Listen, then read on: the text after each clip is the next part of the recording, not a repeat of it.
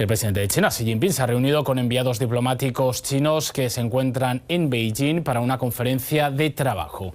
El líder chino requirió que los enviados se adhieran a la diplomacia como principio de servicio al pueblo y transmitan el buen hacer y el trabajo del Comité Central del Partido Comunista de China a todos los ciudadanos chinos en el extranjero, subrayando la necesidad de comunicarse utilizando el lenguaje y los métodos internacionales adecuados para que el mundo pueda entender mejor a China en la nueva era. Sí exhortó también a los presentes a defender los intereses nacionales haciendo buen uso de los mecanismos y normas multilaterales y les animó a esforzarse para conseguir la comprensión y el apoyo de la comunidad internacional.